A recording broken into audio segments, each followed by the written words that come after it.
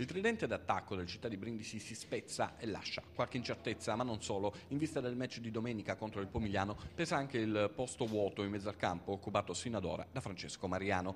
A mettere le ganasce ai piedi dei due giocatori biancazzurri è il turno di stop deciso dal giudice sportivo. Va da sé che mister Ciullo nella gara casalinga di domenica prevista dal calendario contro i Campani dovrà ritirare fuori dal campo due pedine importanti. Si straccia così il tre punte albano tedesco Pellecchia che proprio nelle ultime gare è stato un motivo d'orgoglio brindisino mentre Mariano dal canto suo lascia un buco al centro che alleggerisce il 4-3-3 del mister.